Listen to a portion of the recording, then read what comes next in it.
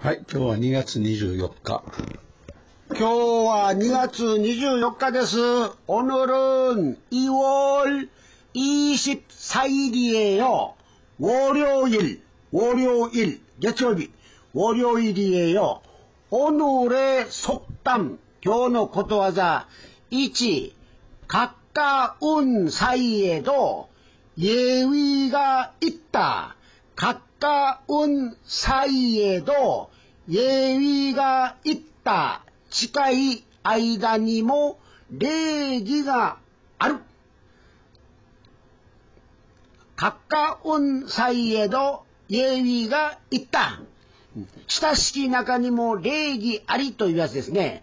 2번、2番。能力 없이 성과도 없다.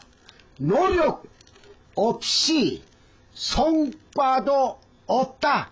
노력 これは労力という意味にもなるし、努力という意味にもなりますが、ここでは労力、労働力、労力なくして成果もない。一生懸命労働して苦労してこそ成果があるということわざですね。損果、これは成果。 損果、能力없이성과도없다労力なくして成果もない。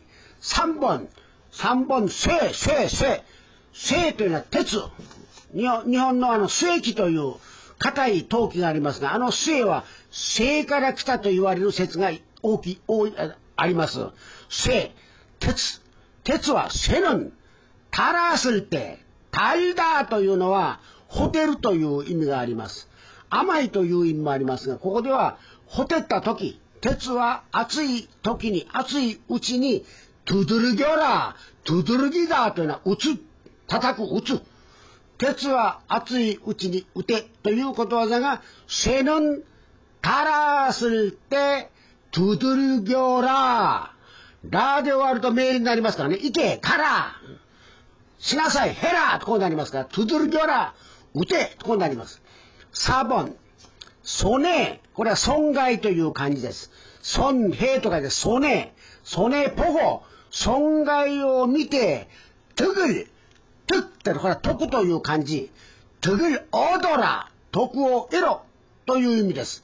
損害を見てというのは、日本語は損して、損をするというのは韓国語では損害を見ると言います。損して徳をせよ。得を得よ、日本語だったら損して徳を徳を得ろ。得しなさいと。徳を得なさい。損をして徳を得なさいという言葉ですね。まずサービス。サービスを提供してそして報酬をもらうということです。5番。살살면살다は住む生きる暮らす。면というのは何々。場家庭のならばです。住めば、살면 고향고향というのは故郷、ふるさとです。日本語は住めば都と言いますが、韓国語は住めばふるさと。ふるさとの方がもっと大事だというね。それほどのものになる。住んでしまえば自分のふるさとになる。살면고향살면고향 そして下の自業自得というのは、茶ゃ、茶っ。茶ゃ、茶く。自業自得や、だったら、茶ゃ、茶得や、茶ゃ、茶得や、せというこの発音は、蔡さんという人がおりますが、チェ、チェです。チェ自由とか、チェ人心という、チェ、蔡さんはチェ。これはローマ字表記では、CHOI、ちょいとなります。つまり、英語で書いてもおとい、ちょいとこうなるんですが、発音はチェチェローマ字は書けないわけですね。チェやればできるは、はみょんてんだ。はみょんてんだ。なせばなる。